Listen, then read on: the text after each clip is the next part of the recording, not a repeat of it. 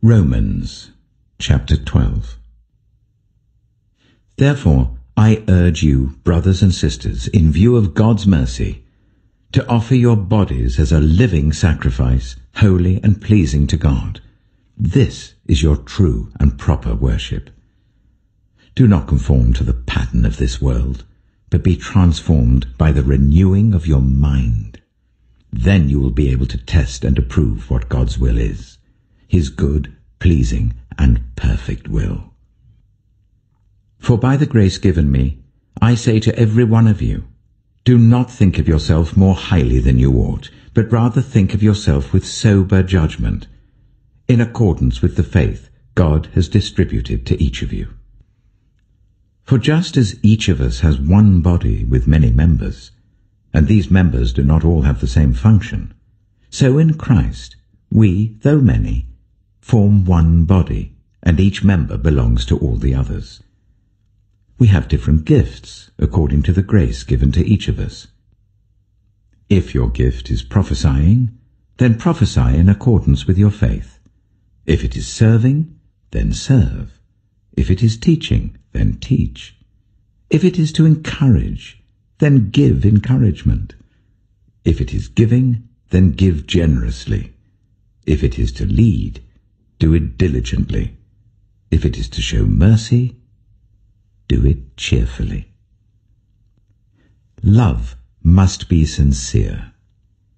Hate what is evil, cling to what is good. Be devoted to one another in love. Honor one another above yourselves. Never be lacking in zeal, but keep your spiritual fervor serving the Lord. Be joyful in hope, patient in affliction, faithful in prayer. Share with the Lord's people who are in need. Practice hospitality. Bless those who persecute you. Bless and do not curse. Rejoice with those who rejoice. Mourn with those who mourn. Live in harmony with one another. Do not be proud, but be willing to associate with people of low position. Do not be conceited do not repay anyone evil for evil. Be careful to do what is right in the eyes of everyone. If it is possible, as far as it depends on you, live at peace with everyone. Do not take revenge, my dear friends, but leave room for God's wrath. For it is written, It is mine to avenge. I will repay, says the Lord. On the contrary, if your enemy is hungry, Feed him. If he is thirsty, give him something to drink. In doing this, you will heap burning coals on his head. Do not be overcome by evil, but overcome evil with good. Acts chapter 12 It was about this time that King Herod arrested some who belonged to the church, intending to persecute them he had James, the brother of John, put to death with the sword. When he saw that this met with approval among the Jews, he proceeded to seize Peter also. This happened during the festival of unleavened bread. After arresting him, he put him in prison, handing him over to be guarded by four squads of four soldiers each. Herod intended to bring him out for public trial after the Passover. So Peter was kept in prison, but the church was earnestly praying to God for him. The night before Herod was to bring him to trial, Peter was sleeping between two soldiers bound with two chains, and sentries stood guard at the entrance. Suddenly, an angel of the Lord appeared, and a light shone in the cell. He struck Peter on the side and woke him up. Quick, get up, he said. And the chains fell off Peter's wrists. Then the angel said to him, Put on your clothes and sandals. And Peter did so. Wrap your cloak round you and follow me, the angel told him. Peter followed him out of the prison, but he had no idea that what the angel was doing was really happening. He thought he was seeing a vision. They passed the first and second guards and came to the iron gate leading to the city. It opened for them by itself. and they went through it. When they had walked the length of one street, suddenly the angel left him. Then Peter came to himself and said, Now I know without a doubt that the Lord has sent his angel and rescued me from Herod's clutches and from everything the Jewish people were hoping would happen.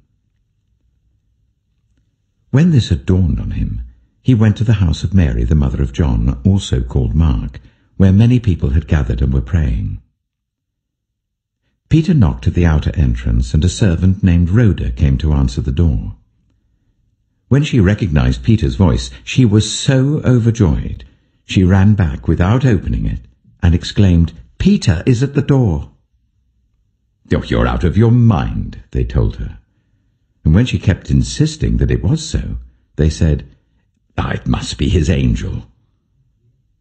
But Peter kept on knocking, and when they opened the door and saw him, they were astonished. Peter motioned with his hand for them to be quiet, and described how the Lord had brought him out of prison. Tell James and the other brothers and sisters about this, he said, and then he left for another place. In the morning, there was no small commotion among the soldiers as to what had become of Peter. After Herod had a thorough search made for him and didn't find him, he cross-examined the guards and ordered that they be executed. Then Herod went from Judea to Caesarea and stayed there. He had been quarrelling with the people of Tyre and Sidon. They now joined together and sought an audience with him. After securing the support of Blastus, a trusted personal servant of the king, they asked for peace because they depended on the king's country for their food supply.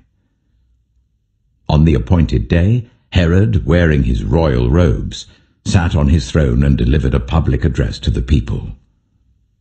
They shouted, oh, This is the voice of a god, not of a man. Immediately, because Herod did not give praise to God, an angel of the Lord struck him down and he was eaten by worms and died. But the word of God continued to spread and flourish. When Barnabas and Saul had finished their mission, they returned from Jerusalem, taking with them John, also called Mark.